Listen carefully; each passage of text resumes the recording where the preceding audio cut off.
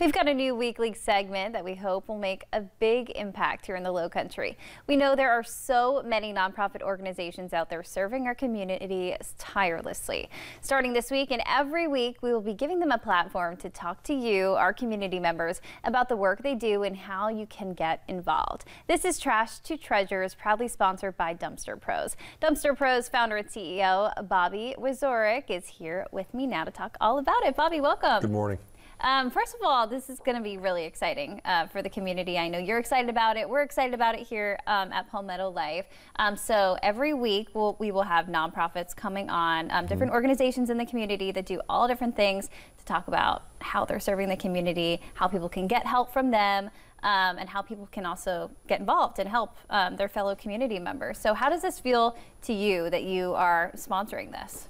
You know, it's good my wife and I, we feel very strongly about giving back to the community and to helping the organizations that maybe some people in our community don't know that they need help. Mm -hmm. And this is a way that we can we can do that. We can share it with everybody. Yeah. So why why is it so important to you to do this? You've you've been helping the community for a while now.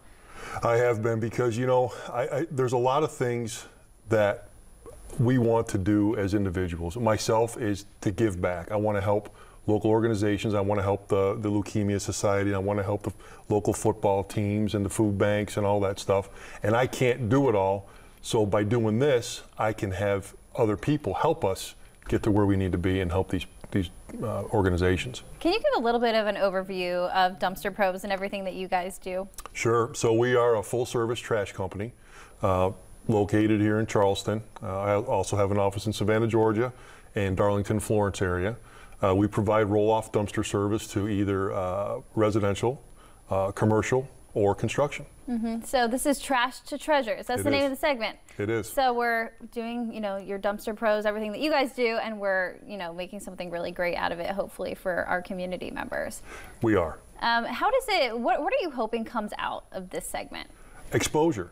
I want people to know that there's other, there's places and businesses and nonprofit organizations in need in the area that we help individually, you know, throughout the year.